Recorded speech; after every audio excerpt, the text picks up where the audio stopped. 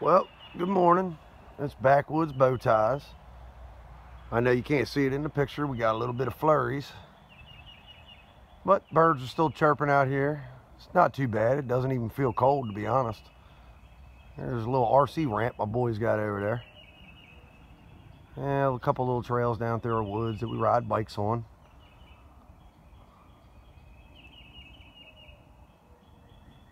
Well, can't complain. It's a nice day. All right, y'all. I'll touch base with y'all later. I'm out.